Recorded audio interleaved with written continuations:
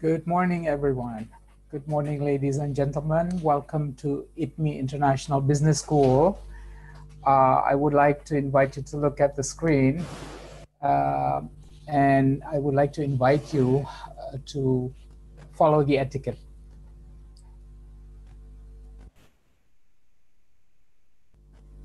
Go ahead, uh, Fajri. You can continue.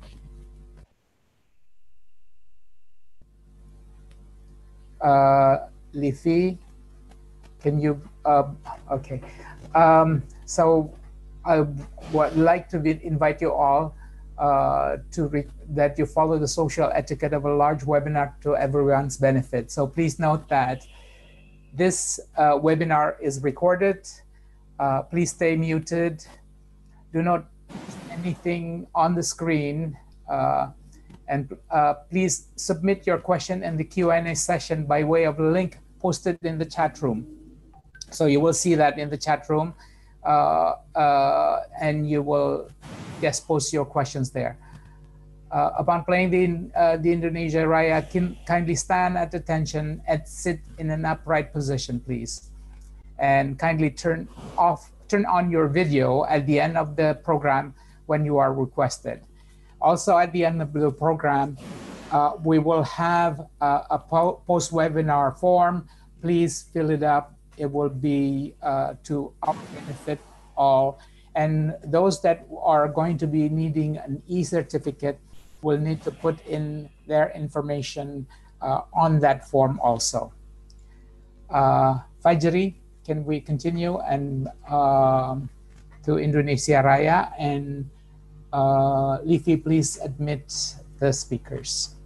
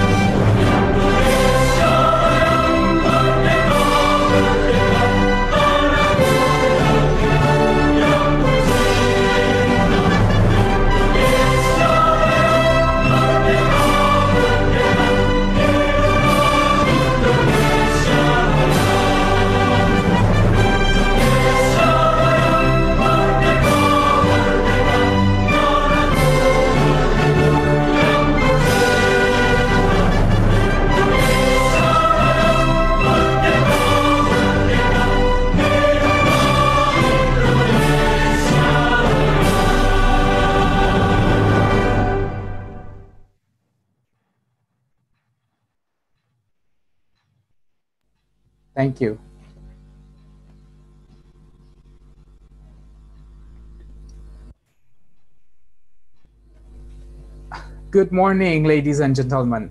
Welcome to all. You are in a webinar entitled Halal Business Excellence by Design. This is an inter international webinar brought to you by IPMI International Business School in cooperation with the National Committee of Islamic Economy and Finance or in Bahasa Indonesia KNEKS atau Komite Nasional Ekonomi dan Keuangan Syariah.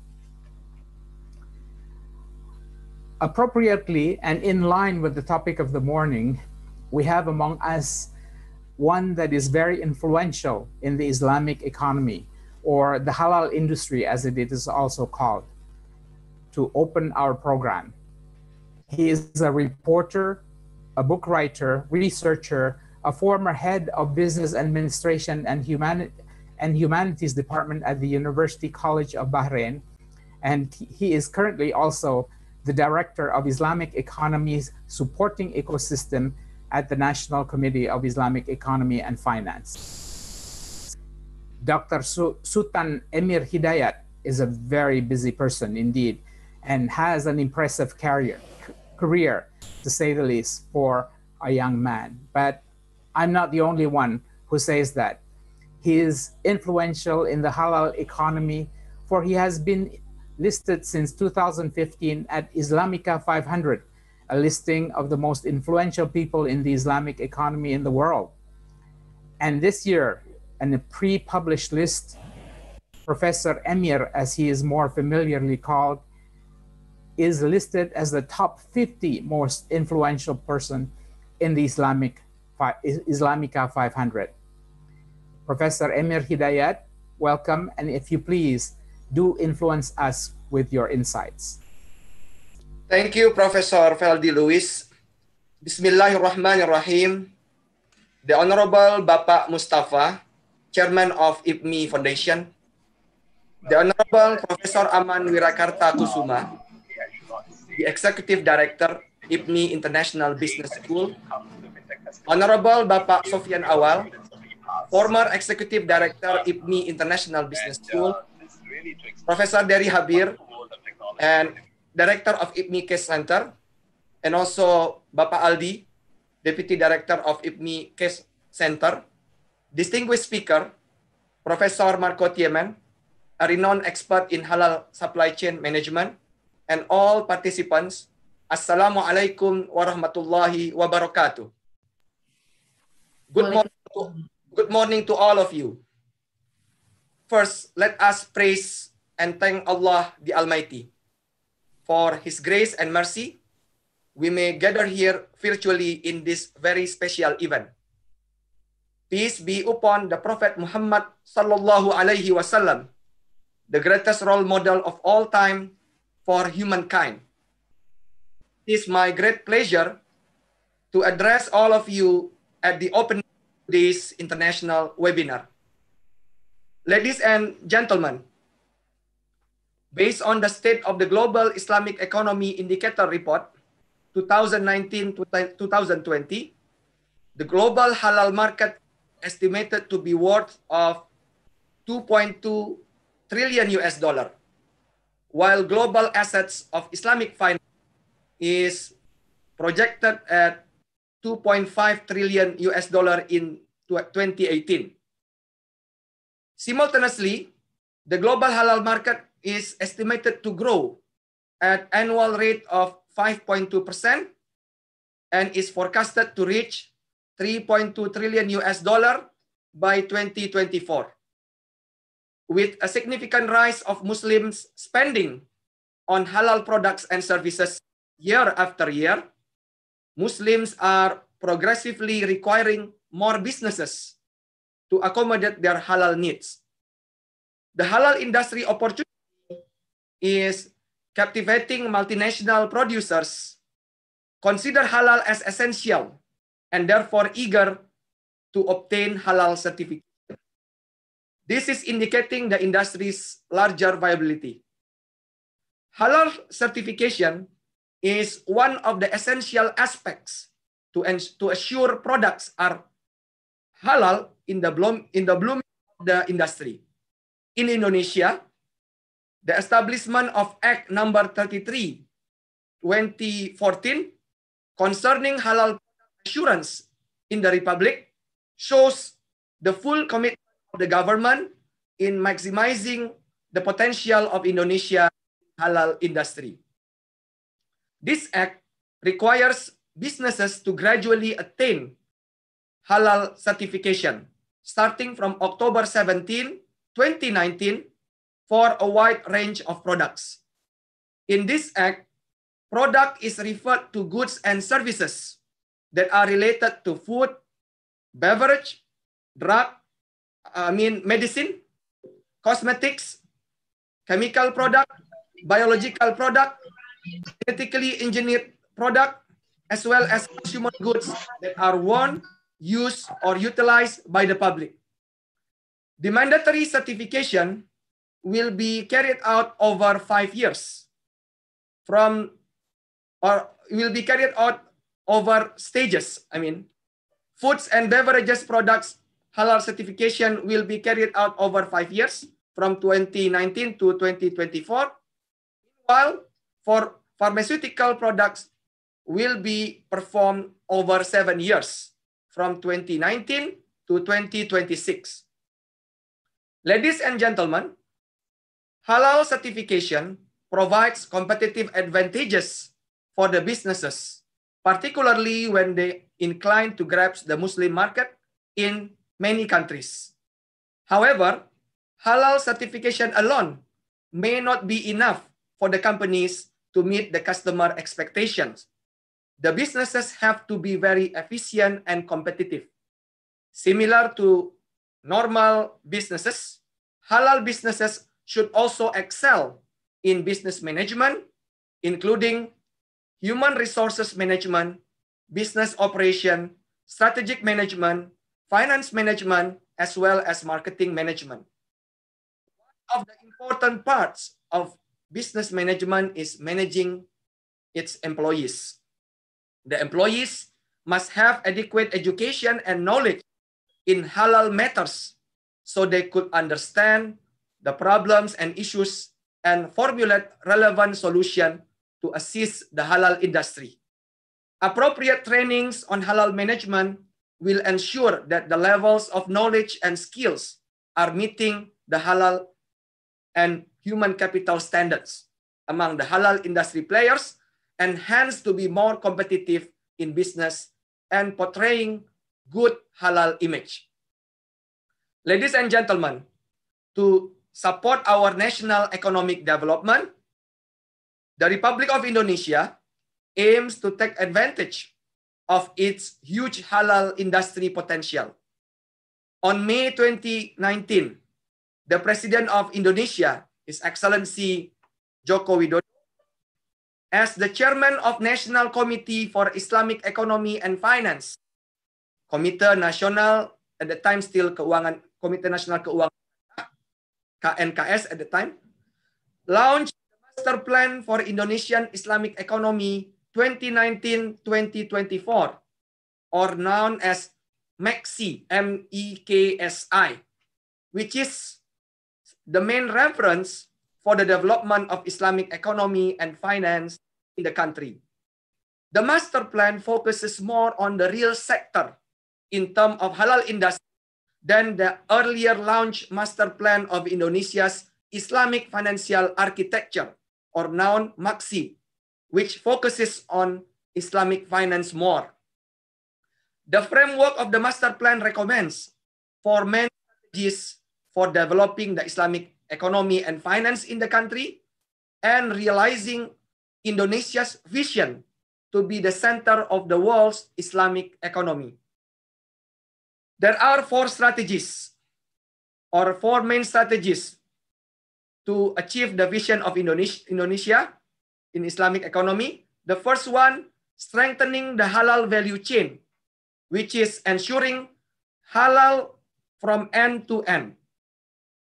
Second, strengthening the Islamic financial sector in order to support halal industry, so halal value chain will be, achieved. Third, strengthening micro, small, and medium enterprises, MSMEs, as the main driver of halal value chain. Fourth, strengthening digital economic platforms in trade and finance, which are expected to encourage and accelerate the achievement of other strategies. Beside the core players or the various clusters mentioned earlier, supporting ecosystem for the Islamic economy is equally important.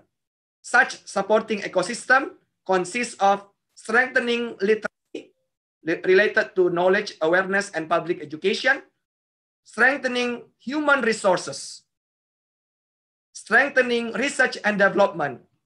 This, all these three IPMI Business School can play its important role to support the national agenda, the national aspiration, strengthening fatwas and regulation, and as well governance. All of these supporting ecosystems are crucial in increasing the capacity and scale of the Islamic economy and the national halal industry so that in the end it can realize our vision of making Indonesia the world center of Islamic economy and finance. Ladies and gentlemen, to close my opening remark, I encourage and welcome Professor Marco Tieman, a renowned expert in halal supply chain, to share his views and knowledge on this important issue. In order to open our mind and to have better understanding regarding halal business excellence by design. Finally, I do hope all of you will have productive dialogue and fruitful discussion during this webinar. I'm pretty sure that the, the, the dialogue and discussion will contribute to the successful of halal industry in Indonesia. Thank you very much for your kind attention. Wabillahi taufiq wal hidayah. Wassalamualaikum warahmatullahi wabarakatuh. Waalaikumsalam warahmatullahi wabarakatuh. Thank you. Thank you very much, uh, Professor Emir. And now, to start our program, although not yet listed as in, on any global list of in, influential people, our moderator today, Dr. Derry Habir, has a steady, long, and strong influence on our beloved school. For anyone who was ever a student in his class and can attest that he is a teacher at heart and that is what he lives for. His students will further say they remember him and his teachings, even everything else is forgotten. One of the reasons is the case method of teaching that he applies and that IPMI has adopted from Harvard Business School and INSEAD, the schools that that were influential in the early development of the business school. The case method today is still used and developed by these leading business schools and others in the world for the case method is student-centered learning, the pedagogy of choice to achieve the best learning outcome. And Professor Habir, as one of the founding faculty of the school who brought the case method of teaching to IPMI, is currently the director of the Case Center the office that carries the torch of teaching excellence to the next generation of faculty at IPMI. Ladies and gentlemen, Professor Derry Habir, our moderator. Thank you, Aldi, for that uh, introduction. I uh, I should uh, in in in return I should tell everybody that you, you were also in my class one uh, long time ago, and that you were the best student in the class. So that's just to um, make sure people know what uh, what you're on about. Uh, Professor uh, Dr. Marco Tieman is no stranger to uh, IPMI. He has uh, uh, appeared in a, a, webinar before, and that was with our um, opening speaker, Professor Sultan Emir Hidayat. Um, I almost feel like I don't have to introduce Professor Tieman because Professor Emir did such a a, good job. However, there's some of you here, many of you may not know uh, the background of uh, Professor Tieman, so um, I will be going through his uh, introduction uh, of his background as a founder and CEO of LBB International, a supply chain strategy consulting and research firm. Um, the, the, the, company and the professor has uh, assisted governments and private sector on halal production, halal logistics and supply chain management, halal park development, and halal risk and reputation management. He has been advising to major halal projects in Asia, Middle East, and Europe. And in Indonesia, um, Professor Tieman is the project director of Modern Halal Valley, 500 hectares halal industrial and logistics cluster development, which he described in his uh, uh, former um, uh, presentation with us uh, before. In fact, we are hoping that that will become one of the cases that uh, we might be able to teach in the future. Uh, professor Tieman is a full professor at Elm Graduate School of HELP University in Malaysia, in charge of research on halal supply chain management and halal risk and reputation management. He is research fellow with the University of Malaya Halal Research Center, conducting research on halal supply chain management. He is furthermore adjunct professor with University Malaysia Pahang, Kuantan, involved in research on halal blockchains. He is a prolific, academic writer on, on the topic of uh, uh, halal management. And in fact, recently he has been he has written and um, is, is issuing his book on halal business management, a guide to achieving halal excellence, which he will be talking about uh, uh, today as well. And it will have uh, some relationship with IPMI, I'm pretty sure.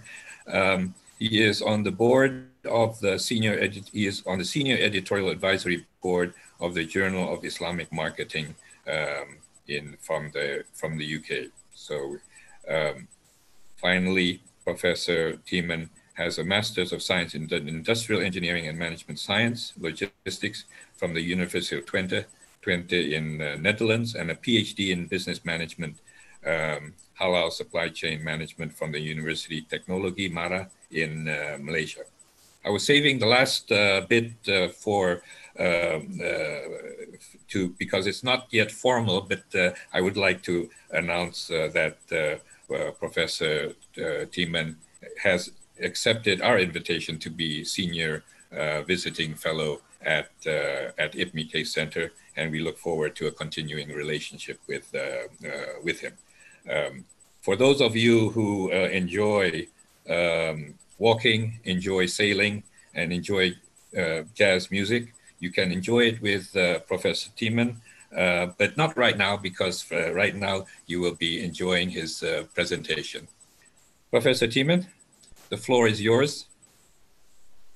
Uh, thank you very much, Professor Derry. I would like to thank IPMI for inviting me and also KNEKS for inviting me at this esteemed platform it's a great honor also to be associated with IPMI, and I look forward uh, working together with the professors there and also the students as one of the leading business schools here in Asia. Um, so this uh, webinar, uh, I'm looking at the topic of halal business excellence uh, by design. And as uh, Prof. Derry uh, shared already, I've been working on my book and I will be sharing a kind of prelude to, to halal business management. Um, I will be sharing, uh, putting up my slides. I hope uh, you can all um, see them. Um, I will be uh, covering, first of all, we're living in interesting times. I will be covering some aspects, my point of view on, on the halal industry. Uh, secondly, uh, related to my book, uh, talking about halal business excellence, it's good to share with you the halal excellence philosophy. Furthermore, I will be sharing about the concept of halal trust, halal risk management, halal reputation management, halal business management education. And of course, I look forward to your questions and a dialogue on these important uh, topics. Um, first of all, to look at the halal industry. Um, yes, there are a lot of issues in the halal industry, but at the same time, we have to see halal issues as opportunities. So we talk about issues and problems. Uh, for business people, this means opportunities. I think, first of all, it's good to realize uh, in my work uh, for multinationals and large companies uh, to get halal certified, there's a systemic shortage of halal ingredients and additives with the right halal standards. The moment you get halal certified, your halal ingredients need to comply with the requirements of the halal certification body the halal certification body will only recognize a limited number of halal certification bodies. And industries, they source ingredients and additives all over the world. so there's a shortage of halal ingredients and additives with the right halal standards. Secondly, um, a lot of uh, OIC countries, uh, Islamic countries, they are very much dependent on imports. Uh, with only the exception of a few OIC countries, maybe a country like, like Turkey. The other countries, they are very dependent on basic, even basic food imports. Uh, the big brands today, if you talk about the big brands today, the big, biggest halal food company is, is Nestle, you know. Um, so uh, there's a shortage of, of businesses, uh, multinationals from the Muslim world. Uh, what we see that halal industries are highly fragmented, um, small. Uh, we have a lot of micro SMEs, SMEs in the halal space. Uh, they, they compete instead of working together. So I think there are areas for collaboration, uh, leveraging on that, on cooperation with different uh, industries. And it seems they have difficulty to go to the next level from micro SME to SME, from SME to large, from large to multinational. Um, so there are a few uh, global halal brands uh, from uh, Muslim countries. Uh, I told you earlier, Nestle is the largest halal food uh, company. Uh, but also in ingredients. If you look at the list of who are the top ingredients and additive producers in the world, there's none from the Muslim world. so there's an opportunity finally, uh, uh, as what I have been uh, sharing with my students and on different platforms, is halal is dynamic, it's not static. Halal is moving from a, a product approach towards a supply chain and value chain approach. Halal needs to be addressed not only at the slaughter plant or at a production plant, but end to end, similar to food safety. So it's important also what Dr. Sultan from KNEKS shared, that Indonesia is building that ecosystem. That halal ecosystem is so important because a halal supply chain a value chain is very difficult to manage without a halal ecosystem. Um, so then, suddenly, earlier this year, we had the corona crisis coming in, which is unfortunately a very big issue in Indonesia with a lot of raising cases. What the corona situation did, it was amplifying the problems in the Islamic industry. I was at the webinar uh, last month, an international webinar uh, with many big uh, halal authorities uh, in there, speakers from the Muslim world, uh, on the impact of Corona and uh, the, the, the, halal industry in the Muslim countries. And I thought this was a very important webinar, and I was expecting action, an action plan, because so many Islamic countries are dependent on imports and and they will face uh, hunger uh, when those supply chains are cut. But instead, they're talking about uh, we were so happy that we managed to uh, put funds uh, to make sure that our supermarkets were full. And there was no action plan. I thought, we have to wake up. We have to produce halal. Yes, it's mandatory to consume halal, but there's an equal responsibility eh, to produce halal. So we need to get into action. And Indonesia is one of the few countries where this government strategy to create a halal production hub. Eh, that we, instead of importing, is that we should be exporting halal, bring halal to the world. And um, I'm very uh, uh, impressed with the, the government strategy of Indonesia to, to make this happen. And I'm very privileged to be also uh, part of this direction with Modern Halal Valley. Um, so what is the real problem, I think, in the Muslim world is, is that we don't educate uh, the new business elites on, on halal business management. Uh, if you do a conventional MBA program, you learn nothing about halal. Only when you go uh, are very interested to, to learn about Islam or Islamic finance, uh, you, you learn about halal. But if you do a conventional uh, master degree uh, in business, uh, MBA, um, you don't learn about halal. So maybe that's also the reason why there are low ambition levels in the halal industry in the Muslim world and, and maybe even low business standards. So I think it's very urgent that we are educating the people on what halal excellence is about. And it's already in the Holy Quran the word ihsan, uh, striving uh, for, for excellence, not only in praying, but in everything you do. So we also should apply that uh, to, to business management.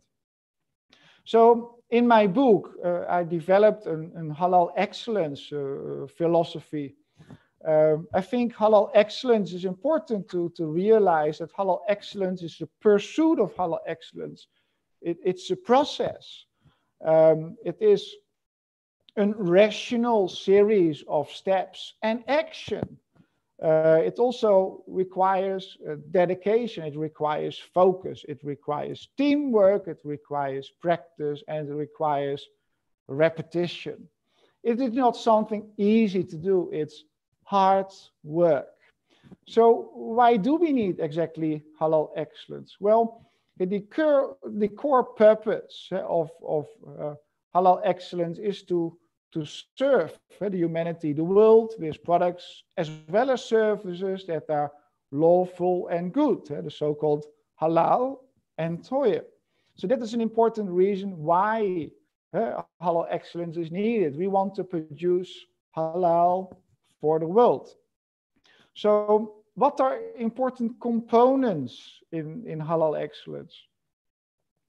Uh, I developed uh, seven important uh, components of, of halal excellence. The first uh, component is uh, we should have no compromises on any inputs and in the processes involved. So if you talk about inputs, we talk about the ingredients, the materials that consist in the food, or the cosmetic product or the pharmaceutical product. So what do you put into the halal product. We should not have any compromises eh, that endanger our health, for example, or endanger the halal integrity. We also need to have good equipment yeah, because your product is as good as your ingredient, but also as the equipment you're using. And the people. The people are so important in here. And you can argue we go all online and on the internet at the end, you know, it's people, it's uh, halal products and, and processes and services. It is still people business. So we need to educate uh, the people um, in the company. Um, uh, also, your suppliers you need to educate, and your supply chain partners, and even the board of directors you need to be educated on halal. Secondly, the process. Uh, so you have business processes, and, and, a lot of companies have an ISO, a so-called quality management system. And so halal also needs to be embedded into the day-to-day processes. So halal excellence is first of all looking at no compromises on what you put in, and what makes the product or services, but also the actual business processes. Um, secondly, halal excellence needs to be embedded by design I call that uh, so-called C4, and C4 stands for correct, consistent, complete, and clear. Uh, a halal assurance system. so when you want to get halal certified, you have to develop a halal assurance system. That needs to be C4. But also your supply chain. Halal needs to be extended throughout the supply chain, end to end, from source all the way to the point of consumer purchase, where it is handed over to the consumer also about halal branding and marketing is important. You can make a lot of mistakes branding and marketing that will be affecting uh, the, your product and, and your sales and success. Also on about the risk and reputation management. A lot of uh, people have risk reports, but this halal uh, part of that. So protecting your halal reputation is an important aspect in uh, in halal business management, which I've done a lot of work in research as a researcher over the past uh, five years. Um, practice and repetition is essential uh, of the halal assurance system, of uh, risk management, and also reputation management. So practice and repetition. So you should have it all well documented, but also practice uh, what you have documented. And don't wait uh, for the issue to happen, and then it is too late. Uh, also important uh, to, to manage your halal supply chain and your corporate halal reputation. And the only way to manage that is that you measure also that. So uh, similar to a car, uh, you have an, uh, a, cockpit in front of you with meters of the speed, uh, the, the temperature of the oil, and your petrol, full or empty. you also need to have key performance indicators in your company regarding halal. And that is uh, of the essence. So having the right key performance indicators for your company.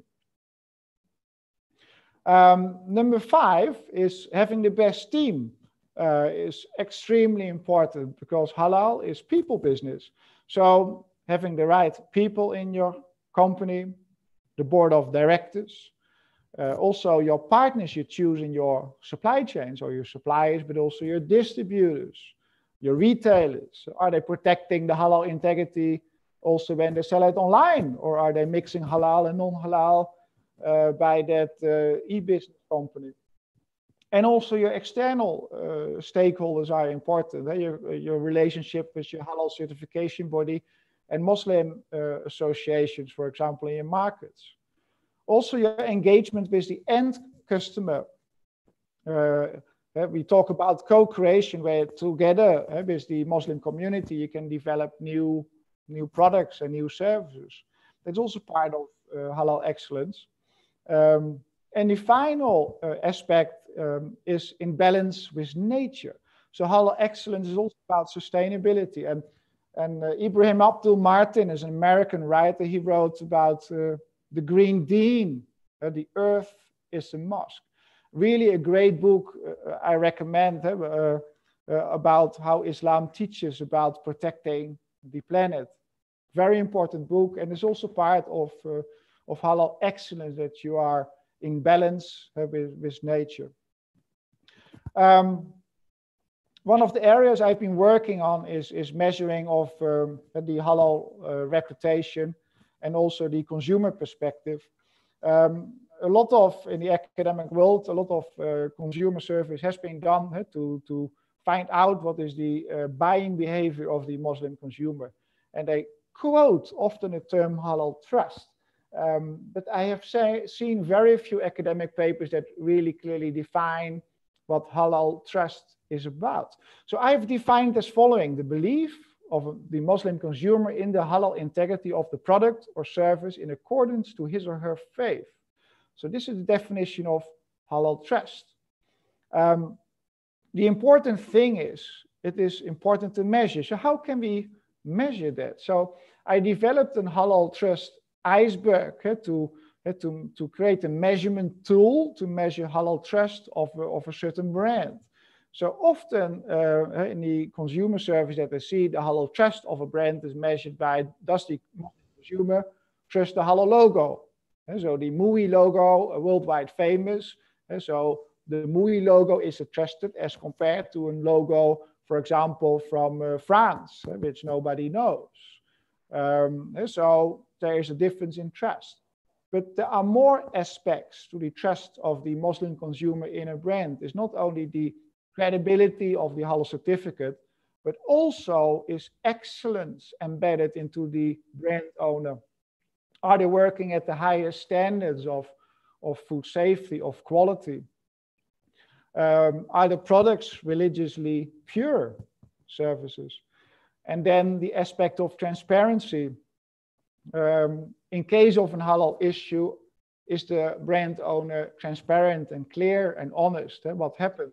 So can the Muslim consumer believe eh, what, whatever the company says? Another aspect in halal trust is also halal authenticity. The, what is the halal DNA of the company? It's only they are certified eh, by a uh, good halal authority, but do they also have a thorough halal strategy? halal policy, um, how do they address the Islamic values, the norms, and the ideals of the Muslim faith? Um, are they just meeting the existing halal standard requirements or are they exceeding uh, halal standards? And finally, intention. Uh, what is the uh, intention is the foundation of trust, you can argue. So what is the intention, the honesty of a company uh, in the halal space? Can the Muslim consumer uh, respect this company?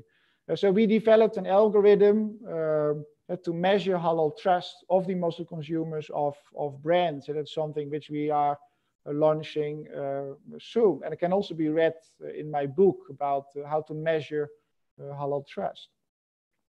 Um, a related area to halal trust is, is risk management, which I uh, developed a lot of um, uh, um, or did a lot of research in as an academic over the past uh, five years. Um, Uh, so what is uh, what are important halal issues? Well, uh, what we have noticed that there have been a lot of crises over the past uh, years uh, by local companies, but also by very big multinational companies that were uh, in trouble, where the, the Muslim consumer didn't trust anymore their products and were even boycotting brands, which is very sad, of course, for those brand owners. So what you see is that because the halal industry is getting so big, that we see that a lot of more halal issues are popping up. Uh, halal supply chains are complex, and it might be also difficult to detect. But once they are exposed, they also they can go viral. Uh, in the old days, it was only professors, uh, educators like myself uh, that can publish. But nowadays, everybody has a handphone and become its own publisher. Um, and it doesn't matter anymore if it's true or not. Uh, it will, uh, even if it's not true, that even goes faster as and go viral and damaging brands. And, and a lot of brands, uh, they might have lost millions uh, in, in US dollar um, terms, uh, in terms of sales losses and reputation damages. So that is something very important to um, address uh, in business. Um, so initially, the halal industry was um, based on, on food. But we have now seen that next to food, also cosmetics can be halal certified, pharmaceutical, paint, uh, fashion, and many more products. So we have seen that the halal industry is growing in width, as I called it. Secondly, a lot of companies are now embracing halal certification. It was initially food, but, but also in cosmetics, you see more companies going certification, also multinationals. Um, so what you have seen uh, that, that over the years, there's also a scaling up of halal issues because the halal industry has grown. Um, and also uh, just explained um, also by Dr. Sutan, is that the halal industry is growing so fast. Why? Because it's growing in width and in depth. So therefore, the halal issues uh, are also increasing. Therefore, it's important to, to manage that well uh, because um, halal supply chains are all interconnected. So one company is connected to another company. So they are globally integrated uh, systems. You see also that factories are producing multiple brands from the same location. So it's making halal the supply chain very complex. There's also an aspect which I normally share uh, during my master classes uh, with, with, students is the issue of, of correlation. Uh, so for example, if you go to McDonald's, you also may see Coca-Cola, right? So that's correlation. If there's an issue with Coca-Cola, it will also affect McDonald's or the way around. But you also have in certain products, uh, they promote the ingredient. There's a special ingredient, uh, vitamin A from DSM is a big ingredient producer. If there's an issue with an ingredient producer, it will also affect the, the brand or the way around. Um, so correlation is an important factor in, in halal risk management to, to address. Uh, there might also be an halal industry issue that in the fast food, uh, that in the frying of uh, French fries, that certain ingredients might be non-halal. So if one company is doing that and has been exposed, the Muslim consumer thinks, what about those other companies? Are they also doing the same? So one issue in one company in an industry might affect uh, the halal issue uh, for, for the whole industry uh, as a whole. Um, so risk management is uh, therefore extremely important uh, to, to address in, uh, for businesses if they want to be um, good and successful in this halal space and be a global player. Um, what I find, however, is that a lot of uh, risk management practices of uh, large company and also multinational are passive. They say, well, what we have done, we created a halal assurance system. we are certified by the best uh, halal certification bodies are meeting the, the current standard, and that is good enough. Well, then I have a wake-up call for you. um, it's good you have a halal assurance system in place, but an halal assurance system alone is not sufficient. It will fall either left or right ways. Um, so when you talk about an halal assurance system, it needs to be supported by other important elements. And one of those elements is prevention uh, by creating a robust uh, supply chain uh, that you're looking at how do we organize our purchasing uh, who are the partners in our supply chain how do i address uh, storage and transport uh, in the supply chain are these guys halal certified do i have it addressed in contracts so risk prevention is extremely important and here we talk about excellence process excellence choosing the right uh, partners. A second component is, is uh, mitigation. So if there is a halal issue, what are your reactions? And the faster do you react and the better you have documented uh, in proper risk and uh, risk mitigation management, uh, the, the better your action is. And the faster you are, the better you can isolate the issue and avoid becoming it rolling into a global crisis. Um, thirdly, we talk about uh, recovery. So if there is the unfortunate situation of a halal crisis, how can we best uh, restore the, the reputation of the company, in particular the trust, the halal trust of the consumer in your product or service, uh, restore the Islamic values and also uh, the entire network.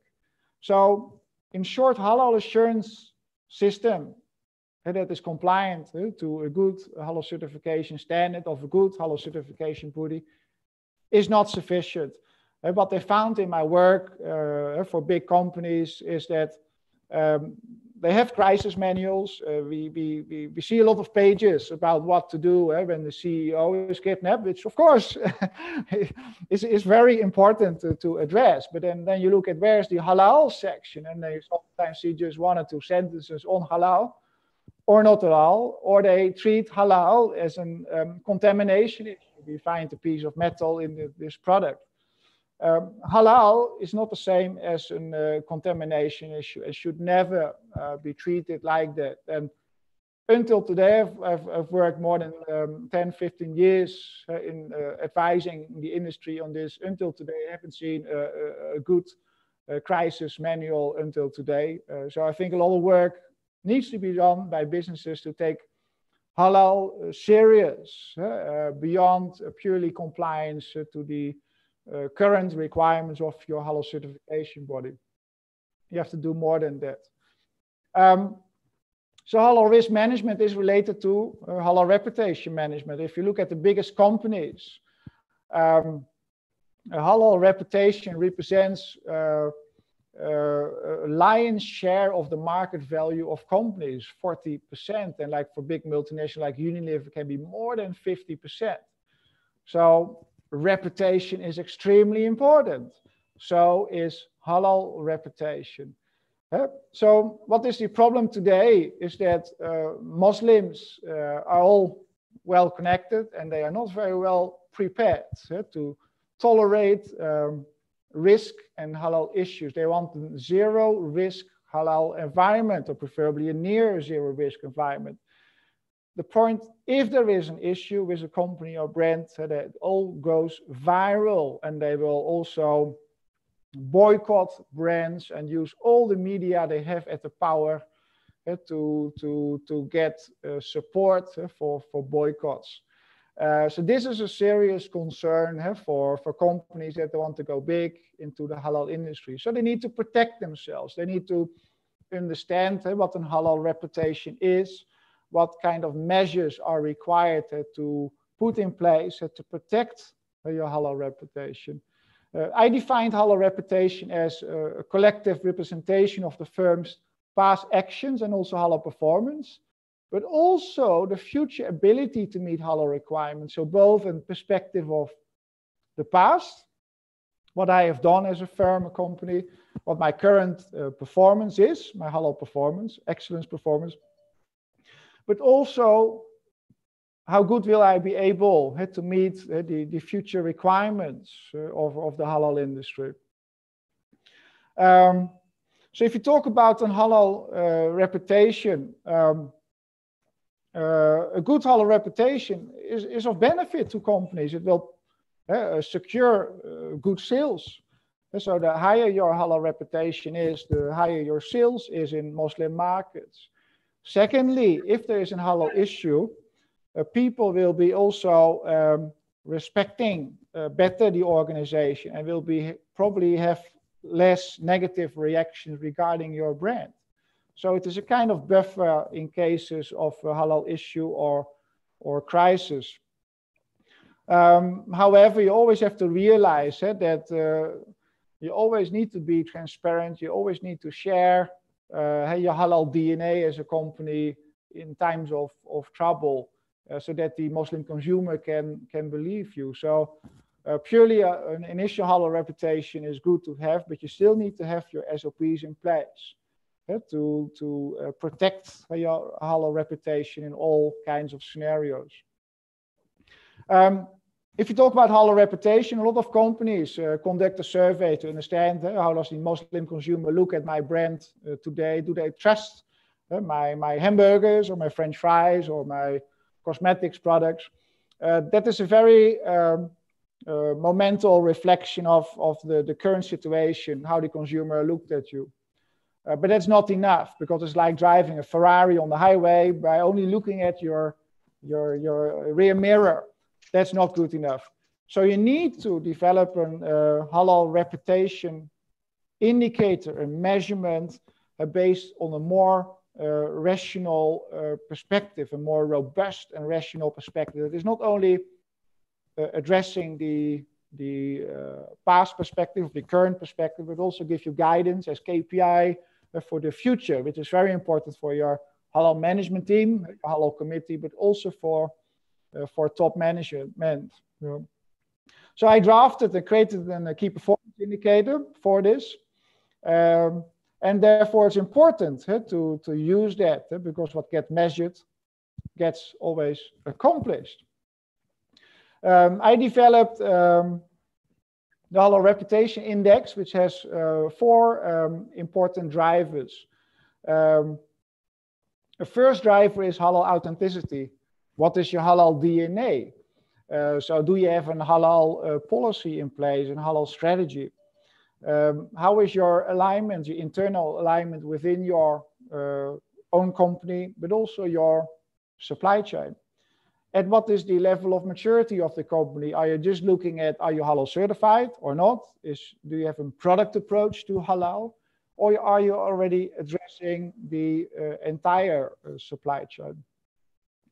Um, a second driver in, in halal reputation is uh, the halal certification body you're using. So um, the, the halal certification from Indonesia, uh, from Majelis Ulama Indonesia or BPJPH, uh, the new organization, that has a world-class reputation.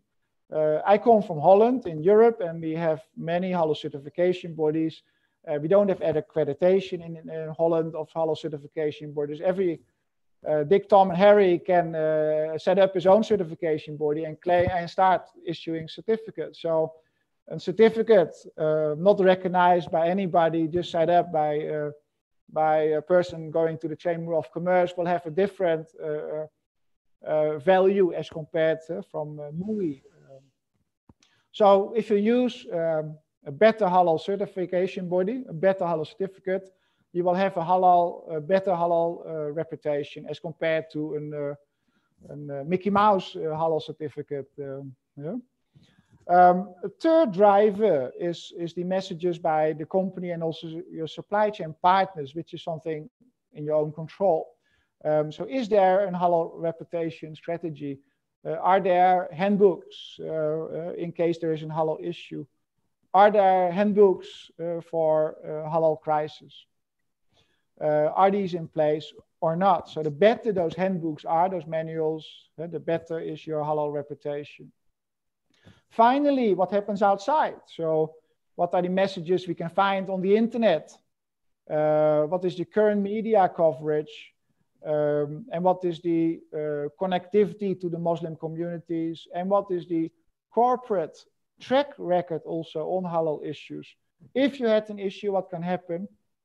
How did you came out of that halal issue as a winner or did you make the wrong decision? So you came out as a loser. So that will determine uh, the halal reputation index and therefore also the halal reputation of the company. So 10 key indicators and uh, based on, on four key drivers will de uh, develop your halal reputation of, of the company. Uh, so this will lead to a uh, ranking and rating system that is good uh, to have that dashboard as top management when you're operating in Muslim markets. It's good, however, to, to realize um, how this relates to the actual market development. So then I talk about uh, the, the license to operate. So companies serving Muslim markets, they need to earn the license to operate. So key, key drivers uh, for the uh, license to operate is the ability how to anticipate those halal market requirements of your market. So you can have an LTO rating for Indonesia, and you can have an LTO rating for Malaysia or an LTO rating for Saudi Arabia if you're exporting Saudi Arabia. It's important to monitor the, uh, your LTO rating uh, as a brand owner if you are um, active in multiple markets because there might be a new local fatwa issued in the market you're operating in that has implications on the uh, how the Muslim consumer will treat your product as halal or not, or in a gray area. What is the list of which halal certification bodies are recognized uh, by that market? Uh, all these components will have, uh, or a new halal standard that's being developed in that Muslim country. So all those aspects will have impact on your license to operate. Um, finally, um, a question uh, I often get uh, uh from, from companies is, is how to start uh, with, with halal reputation in an organization. Um, so I developed an, um, an halal reputation uh, journey as, as a kind of guideline how to, to start and how to develop uh, halal reputation management in your company.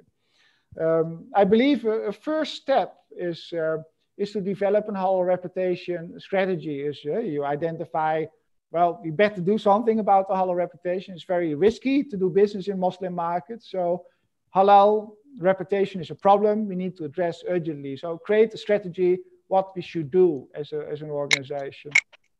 Um, a second um, step is start measuring your halal reputation. So measure uh, your halal reputation index. Uh, measure uh, your halal, uh, so your license to operate uh, rating uh, as a company. In this way, you treat halal reputation as an asset of value, and we will start measuring that to make sure that we are further strengthening the, the halal asset.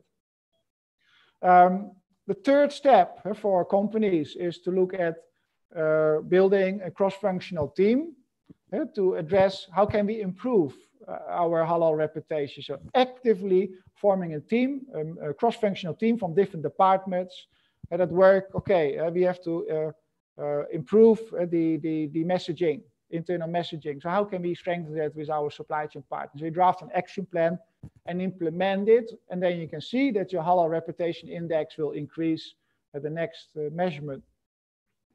The final step is to bring halal reputation at board level, right? So maybe even create a, a position as a chief halal reputation officer for a company, where you see really can see that halal reputation is really a differentiator in our market, and we really have to monitor this at the, the highest level in an organization, at board level.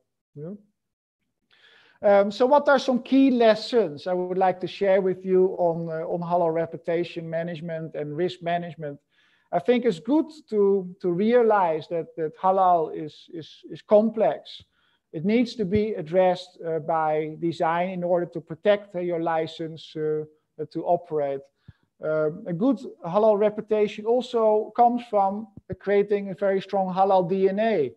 Yeah, so living the actual Islamic values, making the right decisions at the right time.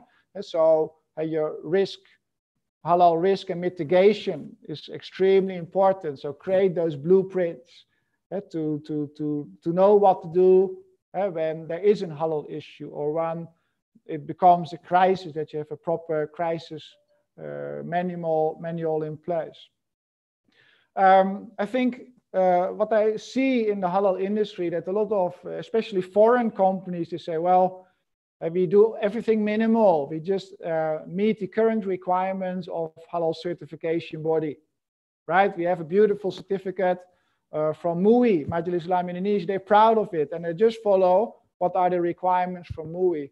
It's extremely dangerous to do this because uh, halal standards develop. There are new fatwas. So it's important to have a build a halal system, a halal assurance system that is proactive, right? It is exceeding existing standards because if a halal certification body uh, start enforcing uh, new requirements or existing requirements, but start enforcing that, like in halal transport and, and, and halal storage, then you are in trouble because some companies are so big, they cannot amend to a new requirement in just a month time. It probably needs six months time to restructure their supply chain.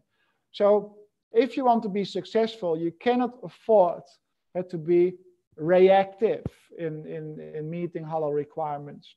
So you need to exceed halal standards.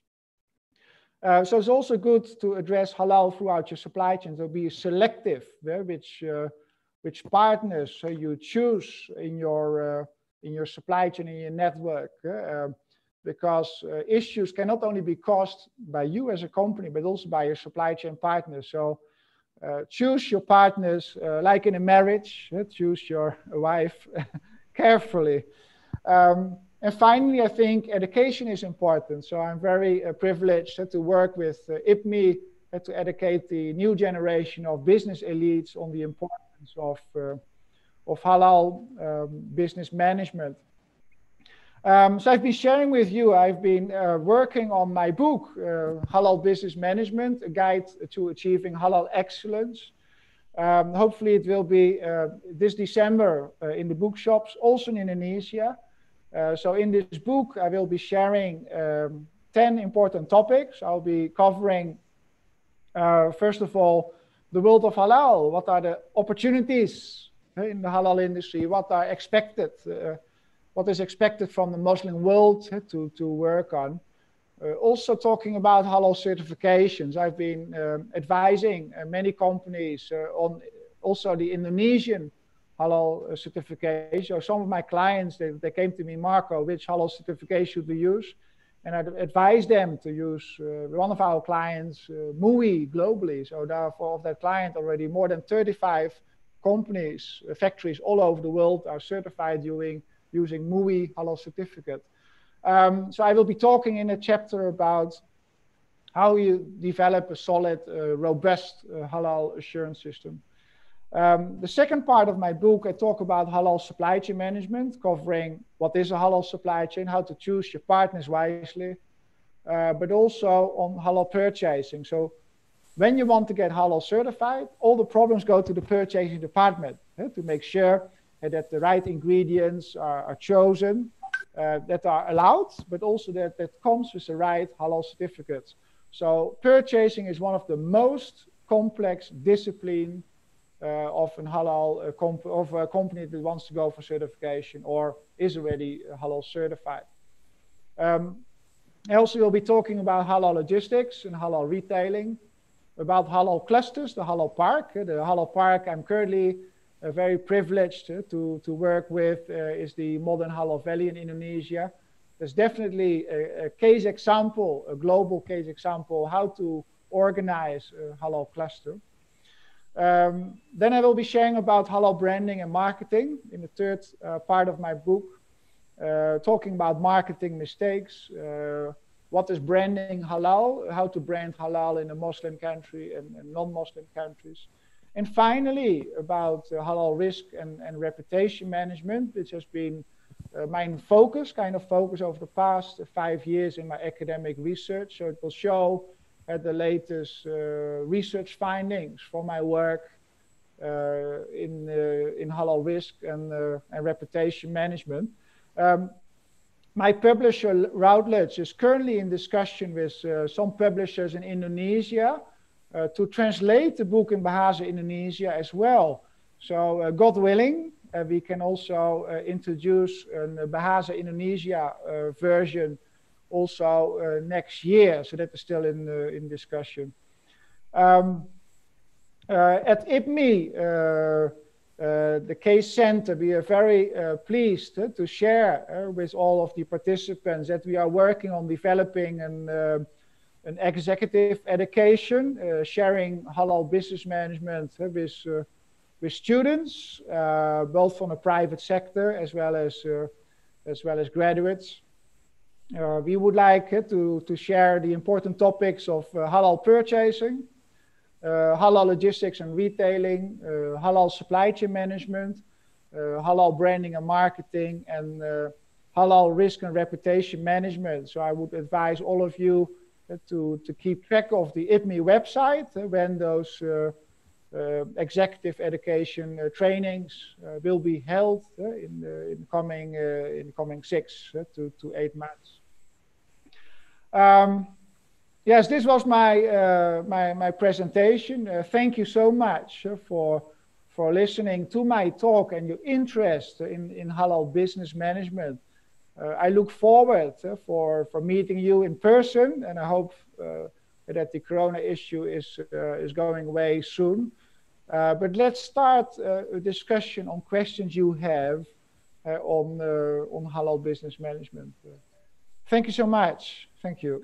Thank you very much, uh, Professor Tieman. we've been having a, a, bit of a problem on connection, but I hope this will not disturb the questions and answers generally speaking, we never have enough time for questions, so I will not go too deep uh, into um, uh, summarizing what you have uh, talked about, just to point out the, the, the philosophical um, background that is needed before one gets into the, the, the complexities of uh, halal business uh, business management. Uh, IPMI has always been proud of practitioner uh, and academic orientation. And I think uh, you brought out very well um, in, in, your in, in, your talk the practicalities of um, of the halal business uh, management, but also in an academic sense, the research required, the complexities that are involved. And uh, because of that, uh, I think we need to have the questions in order to smooth out the complexity. So, uh, Aldi, Aldi, will you be uh, handling the, the questions and we can uh, help you out over there. Yes, thank you very much, uh, Professor Habir and Professor Tieman. Uh, uh, very enlightening, of course. Uh, I have learned a lot, and I'll have, I have learned also that it's quite complex. it's not enough, as you say, to have the DNA but also uh, you need to uh, uh, want to do it properly and have the system in place. Um, so we have many, many uh, questions. Uh, and like uh, Prof. Derry said, we've been having some problems to connect, but I'm going to put up uh, a few of those. Well, let me read you a, a few questions before I can put them up. Um, okay. Shall I shall I start with the questions? Uh, uh, oh, you already you have them. I've got okay. some of them. So, uh, uh, Professor Tieman, there's one question from uh, uh, Ahmad Kamal Badri. trust in the halal label important to Muslims will also comfort the non-Muslim consumer what will be the expectations of non-Muslims vis-a-vis the halal label? Will the halal label be meaningful only to Muslims or will it have a universal value? Uh, very important. Uh, thank, thank you, Mohammed Kamil, uh, for this question. I think the halal label is extremely important for the Muslim consumer. And in my book also, I talk about how to brand halal also in non-Muslim markets. So in Muslim markets evident important, but if you brand the halal logo too big in non-Muslim markets, you might have boycotts also uh, from non-Muslims that say we Eh, eh, eh, there is the, the understanding that halal slaughter is cruel for animals. So, so if you do wrongly promotion of halal in non-Muslim markets, it might hit you also with boycotts against you.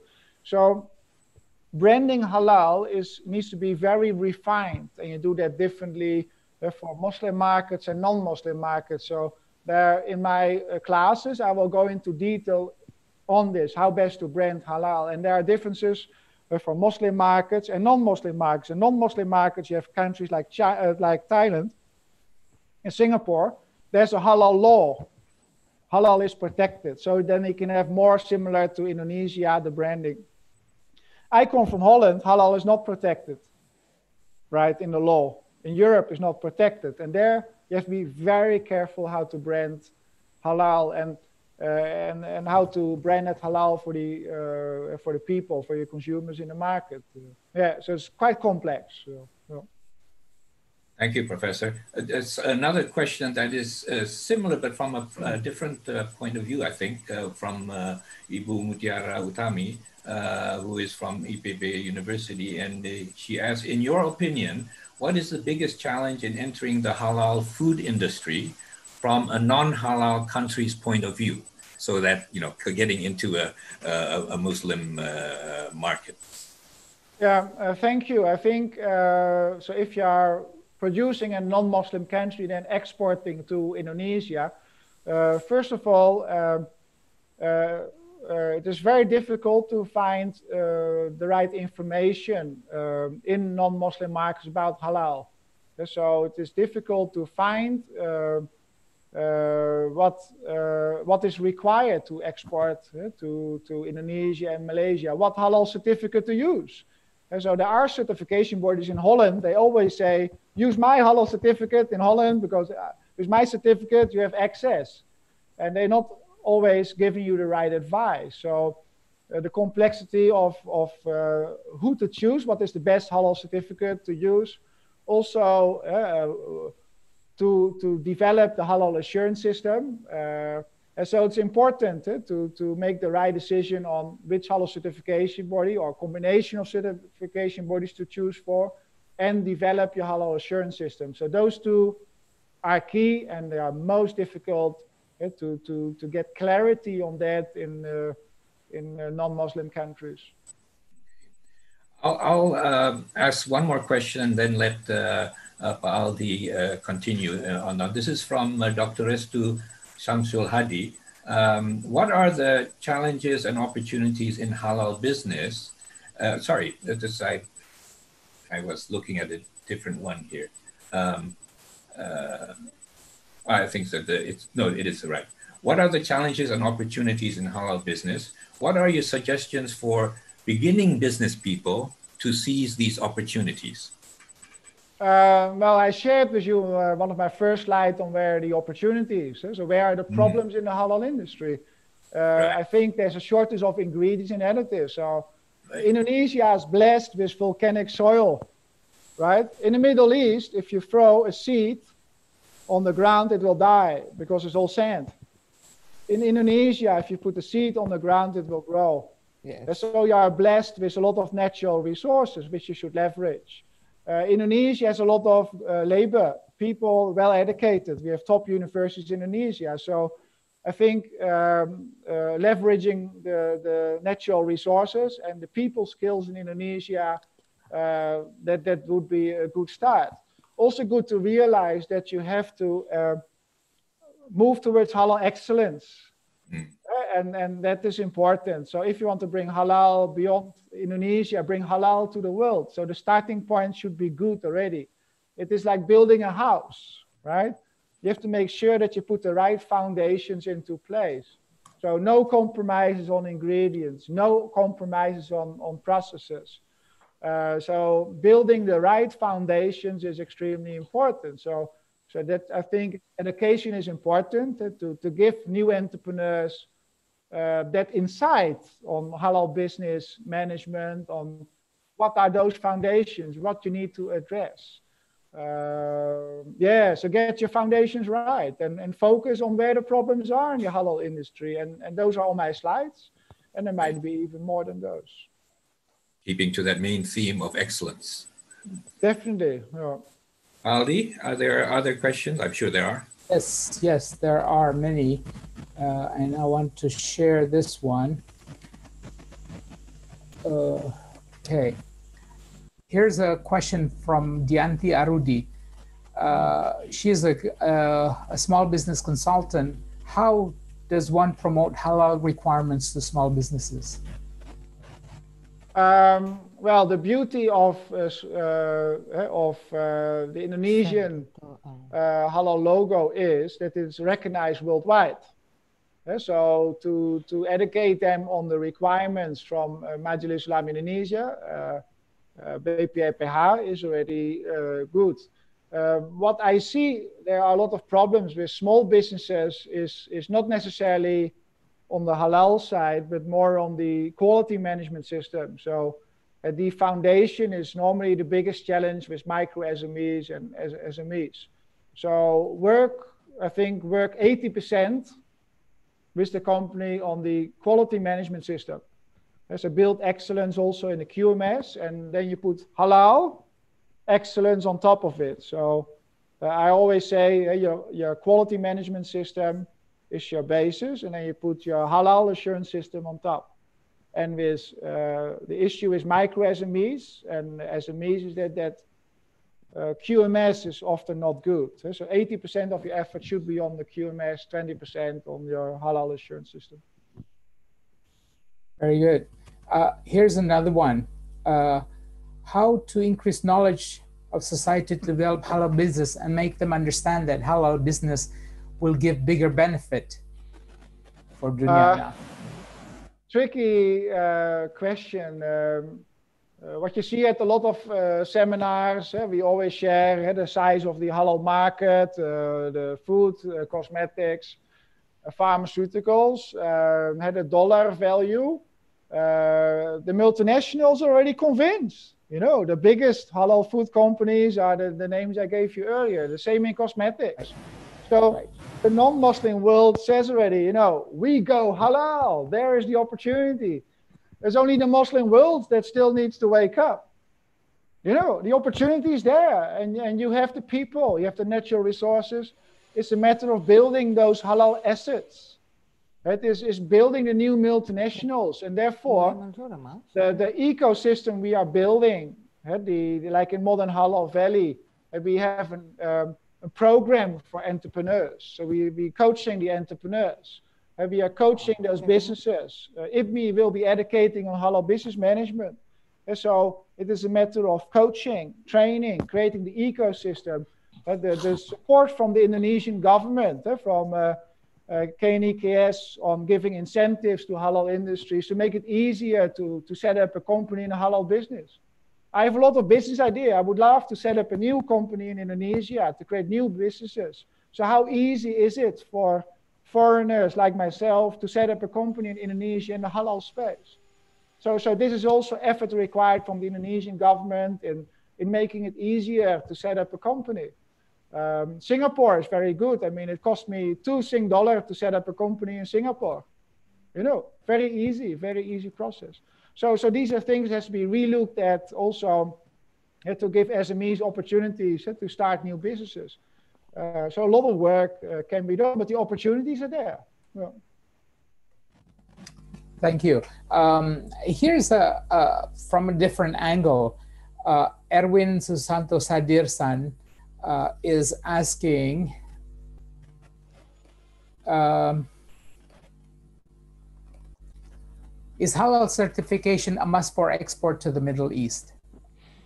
Uh, uh, yes, it is. Um, the Middle East, uh, uh in the early days, uh, years ago, um, uh, was not very particular on halal. If it came from a Muslim majority country like Indonesia, it was okay, no halal certificate required. It has been changing very fast. I have been the advisor also to the Kingdom of Saudi Arabia on halal industry development. Uh, also have been a lot in Dubai, working also in Muslim markets in the Middle East. um, Muslim countries, Islamic countries in, uh, in, the Middle East, those countries are developing halal standards, mm-hmm. uh, halal logos, halal certification. Mm-hmm. Um, so it is important to be uh, proactive uh, for companies and get halal certified. So if you want to do business uh, in in uh, Middle East, you need to be halal certified, and also uh, you have to meet probably a lot of other halal uh, or uh, quality standards like like food safety, uh, HACCP, but halal definitely. Yeah. Okay, well, you've touched upon this several times, um, but it seems that halal certification is different from one country to another. Uh, and why is that? That's a question from Fajar Satria. Um, uh, Do they well, different halal measurements? So there are more than uh, 400 halal certification bodies in the world, which is estimated. There's no international database of uh, halal certification bodies, it's just an estimate. Um, so why are there different halal standards? So uh, halal standards are being developed by uh, by governments, Islamic governments. They are developed by NGOs. In non-Muslim countries, they are developed by a mosque or a company. And uh, they all create their own requirements. And the halal standards are based on uh, the ruling Islamic school of thought, um, local fatwas, but also local customs. Uh, which are different uh, in different countries. And the result is, uh, yes, there are 400 different halal certification bodies and yeah. 400 different standards. Um, there is an, um, uh, a program in now currently in Turkey in the SMIIC that they want to harmonize halal standards. So Indonesia is also an active uh, participant in, uh, in the SMIIC uh, to make sure that the halal standards can be harmonized. But it's a long process and um, and it is very sensitive. So so Muslims uh, in Indonesia, you have your own regulatory system and you will look differently at Malaysian products. And the same for Malaysia, how they look at Indonesian products, and Brunei, how they look at Indonesian products, and um, uh, and yeah, that everybody has his own fatwa committee. So it's a long process, and I hope, uh, God willing, uh, is that we can create one halal standard. There is only one halal, uh, one Islam. So hopefully there can also be one day also one halal standard, which will be important uh, for to simplify halal trade, to produce halal for the world. Um, there are attempts uh, being done, but it, it, it's a long process, difficult process. It talks about negotiation about what is required in terms of the halal standard. Um, Indonesia has one of the, the most advanced halal standards, the, the, the of the oldest halal standards also, as, is one of the first developing halal standards. Middle East are only now looking at developing over the past last three, five years are looking at halal standards. So there's different level of maturity, different points of view. Uh, it's uh, it's complex. Yeah. yeah. Okay. So we, it's it's an ongoing process, uh, and it's all about harmonizing, and uh, they're sitting on the table somewhere to do that. Yeah. Yep. Okay. Here's uh, a, a question from Adrian Satyanugroho. Is there a logistic halal certification body in Indonesia? Do you know? Um, so the, it's a good question. Uh, so uh, halal logistics can be certified under the existing halal standard of Indonesia, the HAS 23000. So uh, we helped uh, uh, in Indonesia a logistic company like in uh, Tanjung Priok. we have IPC logistic services. So they are certified under the HAS 23000. So the, the existing Indonesian halal standard allows for a certification of, uh, of logistics operations. And It is a great standard to, to, to be used for that. Okay. Um, so it's, it's also a working uh, in process. Uh, but here's another question uh, with regard to logistics what is the advantage for uh, a logistic company to be halal certified? Question by uh, Yeah, uh, excellent uh, question. Um, I can make a prediction for logistics companies. right, that are not halal certified by next year will not be allowed to do FMCG, fast moving consumer goods distribution um, for the big companies. Wow. Uh, it is already it is already mandatory according to the HAS 23000, according to the Indonesian halal standard, that halal needs to be segregated in transportation and storage. It is, I repeat, it is already a requirement for brand owners that the halal certified for their products um, uh, according to the Indonesian standard, the HAS 23000, it is mandatory to segregate in their purchasing, in their distribution, halal from non-halal in storage and transportation. This means that also by your logistics service provider, it needs to be compliant. So your logistics service provider uh, would be better if your logistics service provider is certified because if you're non-compliant, MUI or BPPH could take the halal certificate away from that brand owner. Hmm. So the big brand owners cannot afford to lose the halal certificate by doing business with a logistics company that doesn't care about halal. And it put halal together with non-halal beverages or products. So from a risk management point of view, big brand owners will only do business with logistics companies that are halal certified. So if you want to be in the business of halal distribution, get your halal certificate. Thank you. That's a very important message then. But uh, still, in in the same area, Anna Maria Sriasi asked, uh, what are uh, are there any difference between resilience in halal supply chain and conventional supply chain? Uh, obviously, she is in the supply chain business. How to design a resilient halal supply chain system, and what are the critical points that should be prioritized in designing resilient halal supply chain? Uh, yeah, thank you, uh, Ms. Anna Maria, for this question. I'm, uh, I did my PhD on, uh, on halal supply chain management to create a halal uh, supply chain model for this. Uh, conventional halal supply chain designs are, are not always the most robust and resilient halal supply chain. So it is important to um, to design uh, your supply chain, choosing the right partners in your supply chain, also uh, create a document of your of your supply chain, uh, documentation, uh, create key performance indicators in your supply chain to measure the performance that ensures that your supply chain is robust and also uh, resilient. Uh, also, cooperation in the supply chain is important. So how do you collaborate with partners, with other industries uh, to be more, uh, to act more on halal issues when you talk about resilience. And so halal supply chain robustness and resilience is done by design, by design of your supply chain blueprint.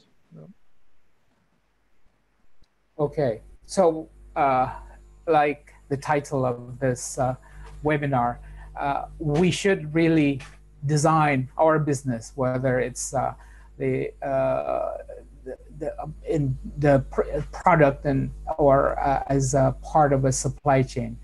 And we have to design it as to, to be halal. Is that correct professor?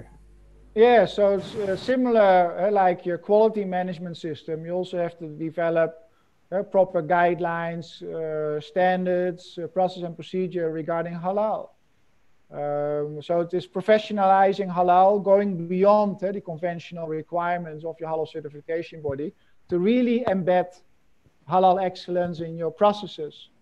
Uh, because halal excellence is a process, a pursuit to excellence, and halal excellence. is a process. Yeah.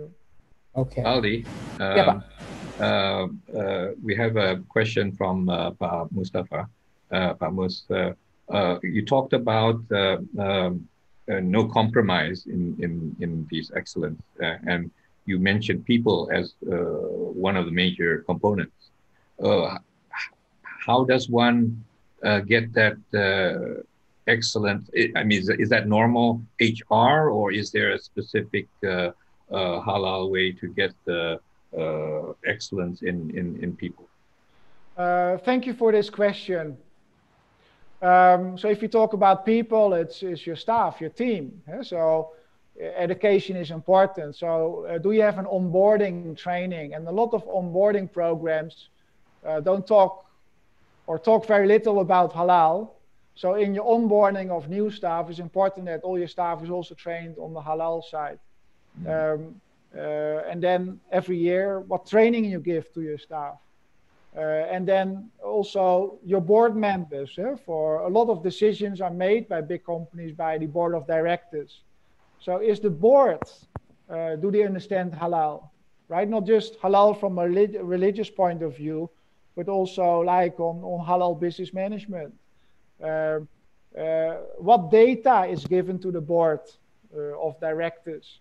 Um, so education is extremely important of the people in your organization, uh, your staff, the board members, but also your suppliers, uh, your partners in business or your logistic service providers.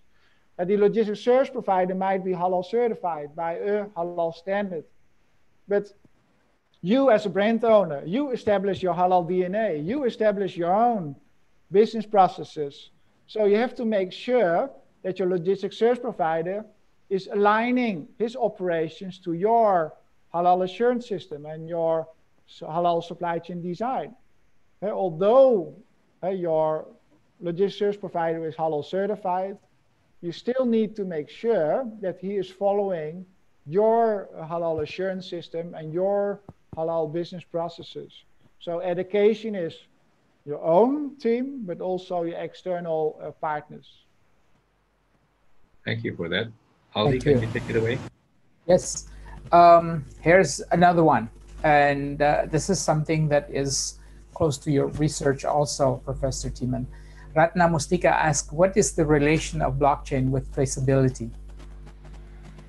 Um, yeah, so I have been um, doing research on using blockchain technology for halal supply chains uh, in the University of Malaysia Pahang in uh, Kuantan, which I'm still uh, sideways uh, so a little bit involved in at this point in time. And there will be some new publications soon coming on this.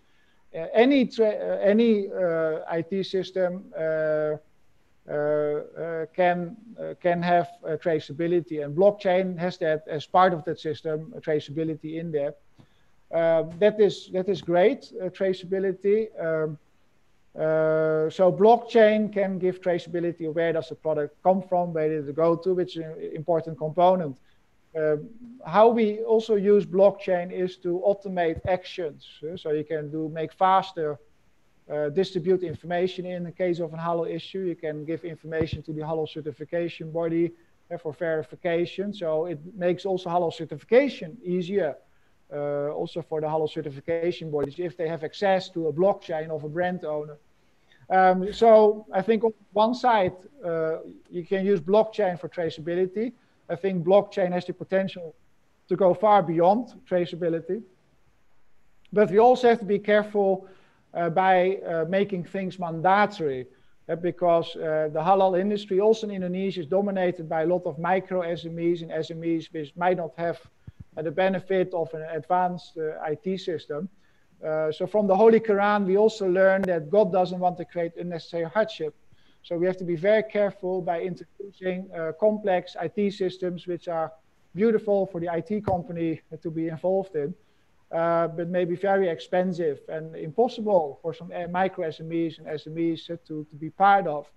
Uh, so from day one, and also I was involved in an international halal uh, logistics standard, where we were always very um, careful in making traceability requirements very hefty because it would eliminate some small companies, and it should not be our uh, our intention. Eh? Our intention is to, to, to allow micro SMEs and SMEs to join the halal industry. Um, so uh, we have to be very careful by introducing, uh, I think, traceability. Uh, it should be halal by design and not halal by proving that uh, having IT that we know where it came from. Uh, so I think that's why I'm, I'm preaching uh, halal excellence by design and, and make it sure that it is halal by design and not that you have to prove it by an IT system that it was halal. Um, so the starting point should be first of all uh, create a robust and resilient uh, uh, halal business management and, and excellence everywhere. Um, yeah, so that's my comment on that. Well, uh, I must add, you also mentioned before, uh, the the D, it has to start from the DNA, so it designs from design from the very beginning. Then, exactly. Yeah. yeah. Okay. Well, uh, that is uh, the extent of our question and answer uh, for today. Uh, you have answered a lot of questions. Are there are there more, uh, uh, Valdi?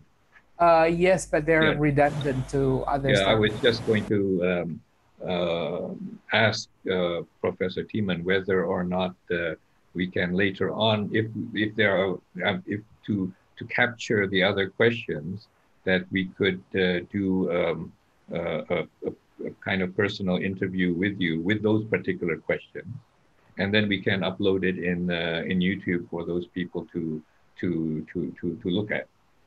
Yeah, it would be excellent idea. I think we should do that. Yeah. Great. Okay. Thank you very much. Um, all right. Well, that that will take care of uh, hopefully uh, most of the questions. And I must say, uh, the questions and your answers indicate the complexity of what is uh, needed. Uh, but at the same time, it, it's a kind of a universal quest for um, for that excellence and but that needs to be in the DNA in itself in order to look for the. Uh, so uh, I think there's a lot of uh, food for thought, and that uh, perhaps uh, uh, later on we can explore that in our various activities together. Uh, Baldi, are we ready for uh, Aman to to yes, close? Yes, yes. But before that, um, it seems that, like you said, uh, there's a lot of interest here. And uh, I'm, uh, I'm getting suggestions of uh, hmm. different okay. talks uh, in the future uh, because it seems that there are partners of uh, uh, KNEKS in our midst. Mm. And they would like very much to, to have some times together with Professor Tieman and also share in, in such a forum that we have today. Great. That, uh, Thank you very much, Professor Tieman. Thank you very much, Prof- Professor Derry.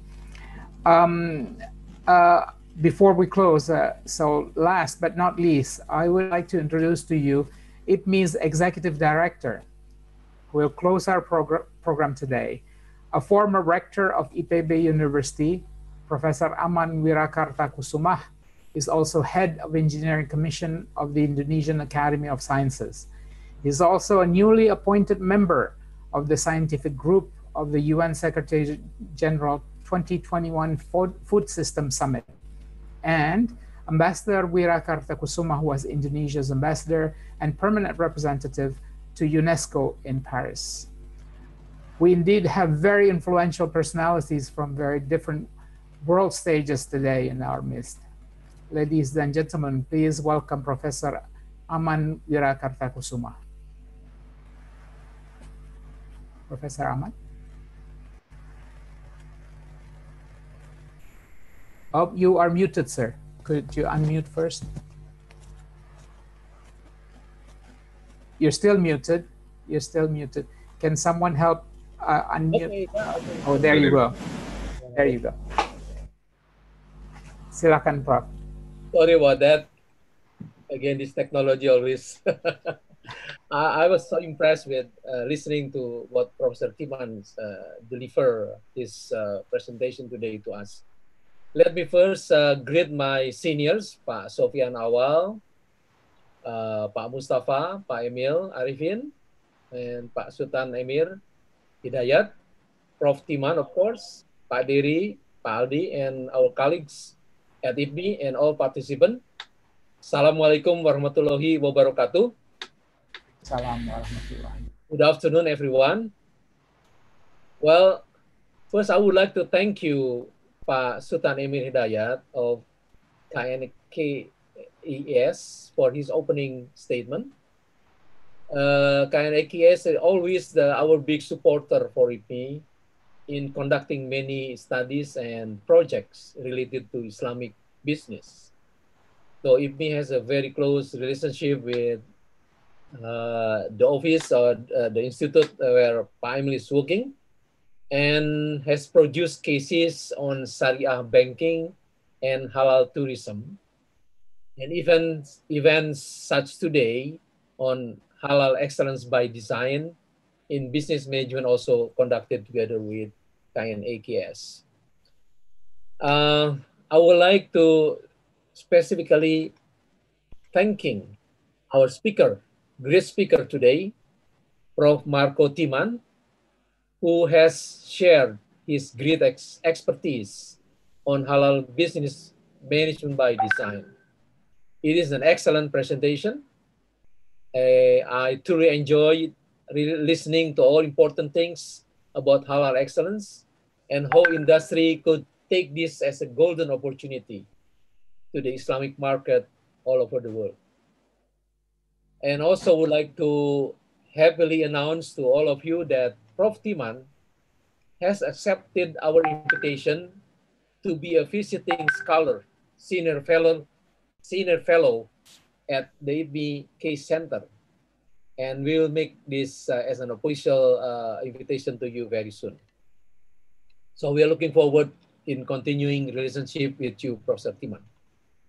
It's my great honor. Congratulations.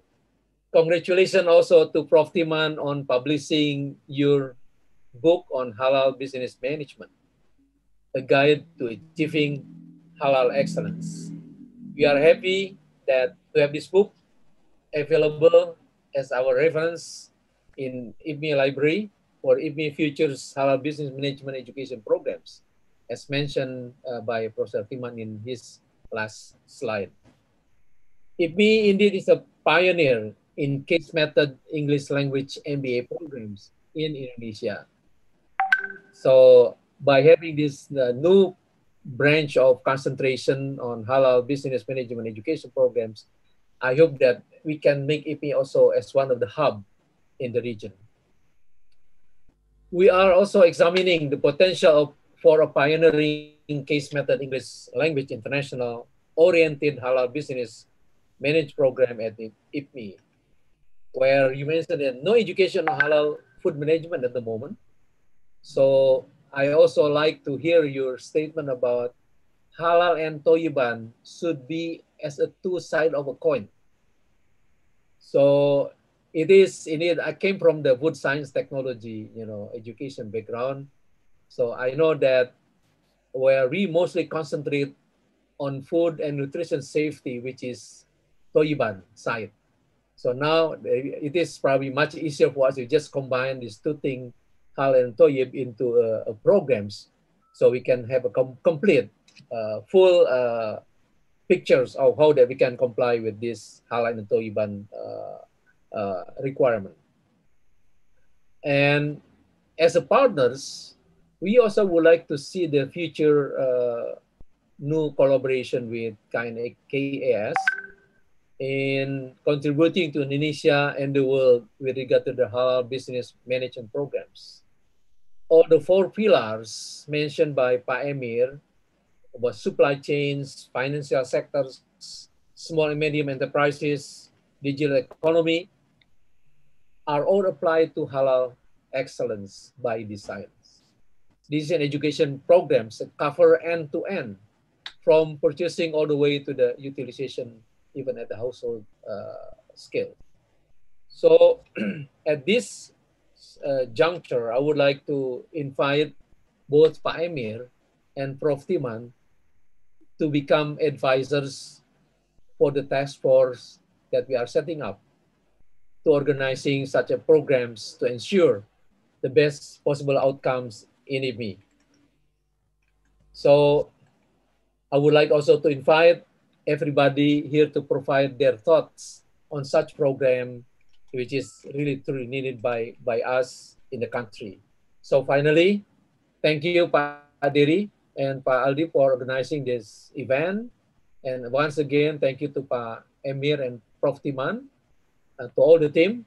I think this is an excellent programs, and we are looking forward to seeing you again in the near futures in the IPMI Minars event. Assalamualaikum warahmatullahi wabarakatuh. Waalaikumsalam warahmatullahi. Thank, thank you very much, Professor Amandira Wirakartakusumah. Uh, before I close, I would like to remind you that please do fill the post webinar questionnaires, please, and especially for those wanting or needing an e-certificate. Do not forget to say so on the form and note you need to transfer the e-certificate fee to the address in the form. What Uh, about the traditional photo? Um, Oh yes, Ibu Opit Dimas, can you uh, help us with the traditional photo of the uh, Okay. participants, please? Sure. There is four pages, so I will take one by one. Okay. Okay, the first one is one, two, three. Okay, one, two, three. One, two, three. One, two, three. Okay. Thank you. thank you, Opit. You have a nice photo as well. Thank you very much, uh, ladies and gentlemen. Uh, I hope to see you all again in our next webinar, which uh, will happen next week. Uh, the topic will be on family business uh, uh, of Indonesia. Thank you. Thank you. Thank you, Ali. Bye, Bye Thank you very much. It was a great pleasure. Yeah, thank you. Thank you, Professor Tieman. We'll get in touch very soon Okay. and keep in Thank touch. Thank you. Mas Awal, thank you. I thank you. Very positive. Keep up the good work. Thank you, Pak Sofian. Thank you, Pak Ali. Thank you. Tawi, maju Tawi. Very good attendance, you know. I think at the beginning I saw it's more than 100. And Yes. then 109. 109. increase again, more than 100. Yeah. That's great. For the photo. For the photo. wow. Uh, back to work. We have a lot of things to do. That's Okay. right. Sebelah. Back Back to to sleep. huh? We get the uh, evaluation, Ah, self yeah. evaluation uh, assessment. assessment. All right, everybody seems to be leaving. Yep. Okay. All right, thank you. Very, very good, Pak Aldi. Yeah, excellent. Okay, Pak. And Aldi has not slept yet still. Thank you, team. Ibu Lia, Opit, Livi, uh, Arini, Yeah. Fajri. uh, Fajri, I think it's Ehwan, getting and better and Awan. better, yeah. So no panic. Uh, everything is just in the right